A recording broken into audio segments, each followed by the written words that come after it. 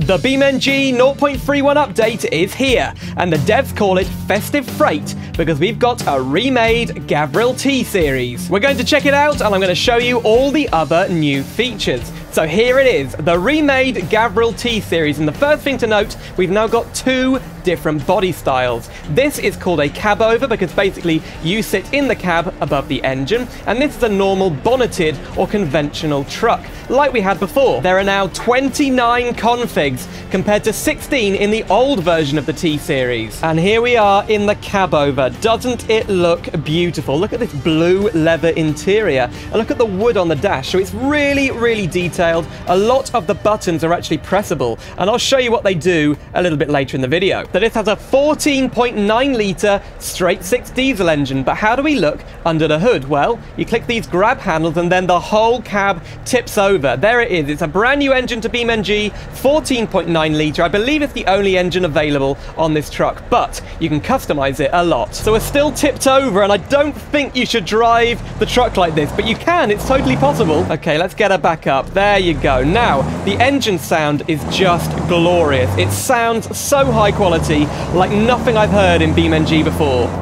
I mean, Oh, she just sounds glorious. So it drives really well. It feels like a massive vehicle. And look how high up we are. I think the view isn't great here, but I do have to look pretty far over to see the newly improved mirrors. We'll talk about that a bit later. They're so much better. Okay, then let's go for a crash test. And I think we're just going to go straight into this fence, which is completely, whoa, rock solid. Wow, look at that. The whole front has been crushed and the glass is smashed. Yeah, I mean, it's not massive amount of damage, but this is a, a tough old truck. So yeah, I like that. Good J-Beam. Okay, so now we're in the conventional truck, and let's hook ourselves up to a Tasty Cola dry van. It's a new trailer added in the update. It's 28 feet long. So they've really improved what's called the fifth wheel, this part here. Oh, I haven't lined it up correctly. See? You've got to line it up perfectly, otherwise it won't connect. Okay, that's a bit better. There we go. We're going to hook up.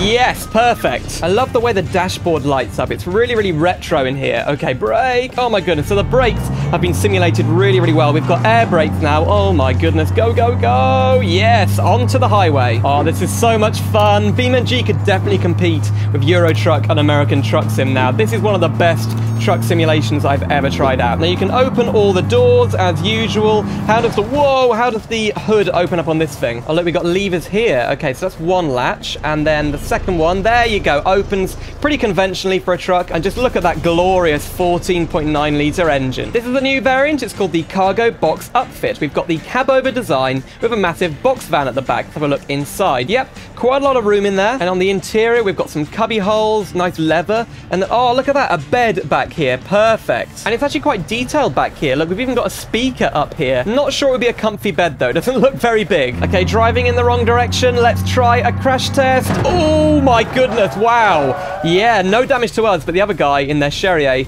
completely wrecked. You can also get flatbeds and dump trucks, but I want to try the long haul. Look at this thing. Okay, we've got a manual gearbox, and look at this shifter down here. Oh my goodness, we even got an overdrive in this thing, which is this little toggle here on the top of the gear stick. Okay, let's connect up to, ooh, a tanker trailer. Ah, oh, missed it. This fifth wheel simulation is actually really realistic. It even has air brake simulation, and when we connect up, the electricity and hydraulics should automatically be connected. Come on! This view helps. Yeah, it is actually quite difficult to connect up. Oh, come on!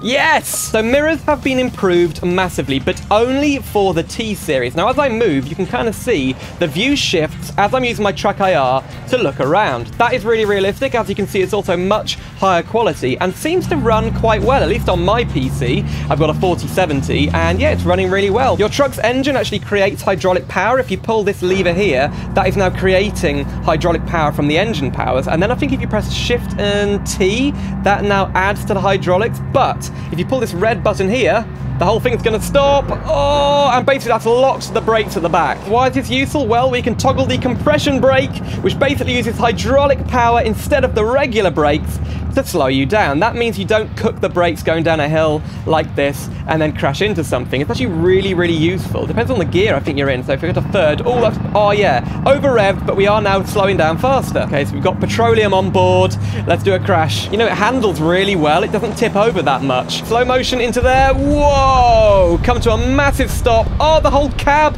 has ripped off and something's exploded, a fuel tank, I think. Wow, look at that. The whole front has fallen off. You can see right through to the engine. This is the long haul special. It's back and we've got the Patriot livery on it as well. A new eagle on there. I think that's been updated, that livery. Now, the sleeper is beautiful. We've got these kind of, I guess, drawers down here and then a bed. And look, double decker. Oh, yeah, we've got a bed up here as well. Beautiful. Although, why two people would need to sleep in a truck? Not sure. And we're about to drive into the updated port here on Spearleaf Island. The map expansion added in the last update has been improved. And here you can see the port. We've got so many more containers, better, I guess, road directions and a big roundabout here to allow you to drive your truck with a trailer around, improved cranes, and generally just more detail. You see a little bit more rubbish around. I do like the in and out here where you've got to do like security checks as you enter and leave. Just across the road, they've updated this cool looking storage area area. They've also added a car park under here, and I guess underneath the train station here, look, there's like some kind of gravel or dirt path under here you can use to drift around. And see what I mean about the details? It does look good. Pretty grimy or like industrial detail. And then unfortunately, they haven't added grass to this part of the map. That's just a BeamNG engine limitation. They've added a Tyrannos fuel station here on Spearleaf Island. This space before was just empty, so it's nice to see they've added this. Near the beach on the main island, they've improved this fuel station here. It's now a trilobite station, and as you can see, it looks a little bit better. And the signs now actually display dynamic prices. That's going to be useful for the career mode. They've also improved the police station, and it's actually pretty detailed. The exterior's been improved with new textures, and on the interior, we've got a few details like plants and benches and a reception area. You can actually walk around this place, but the coolest feature is underground. Okay, so we're in our Bruckell Bastion police car, and let's head into the parking garage. Oh yeah, they've added a fully modeled parking garage, which has different levels. And we've got locking doors. Unfortunately, they're static. I think, yeah, they are static, but I guess they would close in the event of an emergency. And then here we go. We're going up to the first level of the car park, and it's pretty big. You could sort of have a kind of car chase in here. It's not massive, but I do love the detail. Heading up now. Whoa, let's, let's put it in sport mode. Can we drift? Oh my god, it's quite tight. This is the third floor. Are there any more? I think... No, there is one more floor. Oh, no, it's not a floor. It's just a way out onto the street. There is actually a completely new location over here by the racetrack. It's called the Commercial Garage. Basically, it's for storing goods and loading them onto trucks. As you can see, there's things here for loading the trucks up. I guess you'd use a forklift truck. Unfortunately, we don't have one in the game yet, but I do like this area. It's pretty nice. Okay, so back at Spearleaf Marine Logistics, that's the port to you and me. Let's have a look at some of the new trailers. They are the new container trailer where you can fit two 20-foot containers or one 40-foot containers. These are new models. I really like the look of the texture. You can also change, I guess, the branding on the side. This is the frameless dump trailer. It's a 45 square foot trailer that's popular in North America. And then the improved trailer dollies. Now, this is important because you can use this to hook up multiple trailers into a land train. Some trailers do come pre-configured with the fifth wheel at the back. So it's pretty easy. All you've got to do is just kind of oh, drag it in. Whoa! Yeah, you can see you've kind of got to drag it very accurately underneath each other. There we go. Yes, locked in. Right then, long haul Patriot special. Let's try and ooh, get Connected. Whoa, yes, we did it. My FPS has taken a nosedive, but look at this crazy land train. Okay, round the new roundabout. Are we going to fit round here? Probably. Come on, make it round. Oh, yes, here we go. Oh, no. Are we going to make it through here? Um, We can now check the mirrors. I mean, this, these new mirrors are so much better for driving trucks with trailers attached. Yep, I think we made it through. Yeah, you need a really powerful truck to haul this mess of a land train. And I don't think in many countries these are even legal. Maybe in Australia and America, but not many other places. Seriously, with a wheel, this just feels incredible. Whoa, what are you doing? Okay. Yeah, and you can just do that, completely wreck people. I mean, look, what is that hanging down? Is that their bumper? Watch out! Oh! Oh my goodness, absolutely no damage. I mean, we've pretty much got a bull bar on the front. Whoa, losing control a little bit.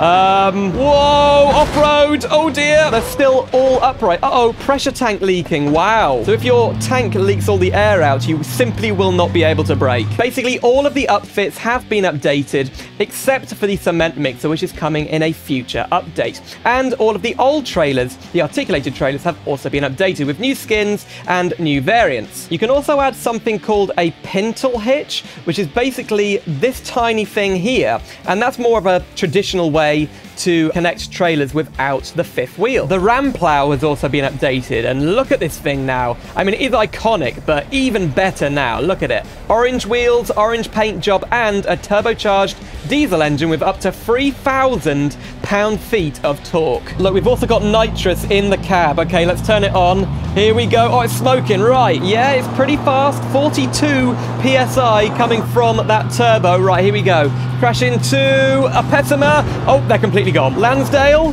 here it is. Whoa.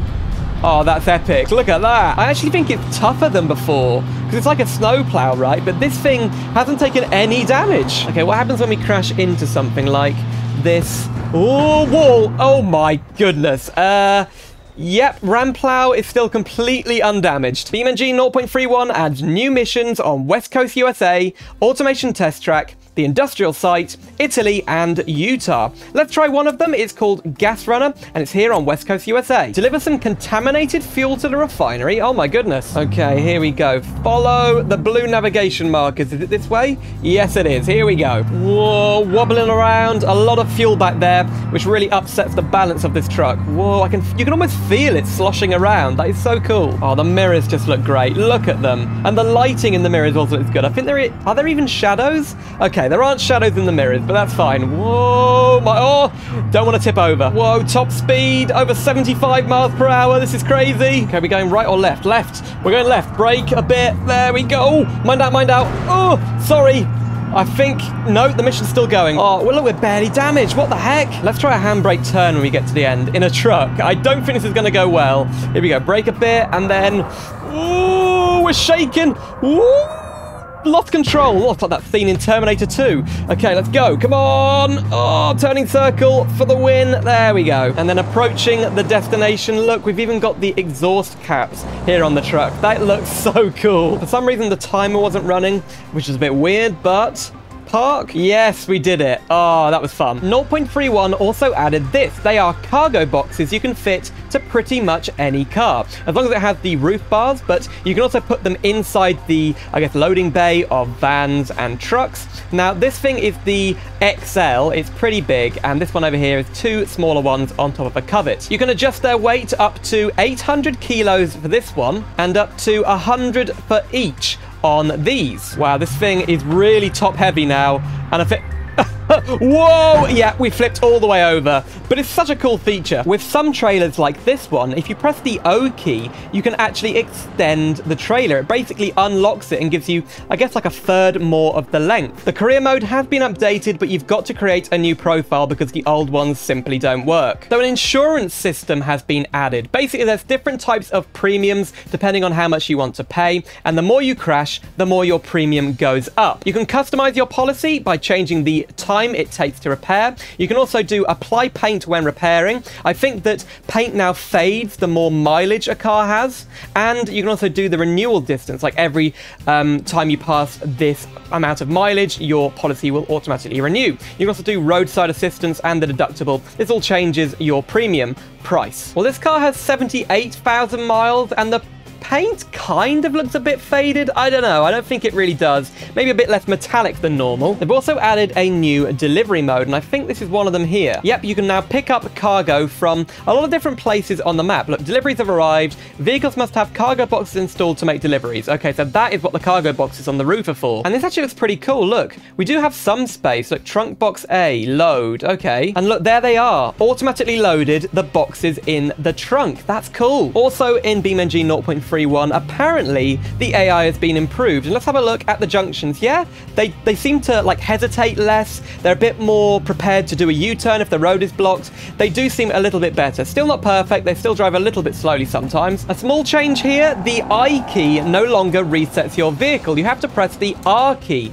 or you can press and hold insert, which then recovers your vehicle along the path you've just driven. I much prefer using that to recover my vehicle, and you can also change the binding. So don't worry, if you really want to go for I, said about 7% of players use it these days, you can change it in the keyboard config menu. And this update has seen some performance optimizations, especially for Vulkan mode, which is very, very near now to being fully complete and working perfectly.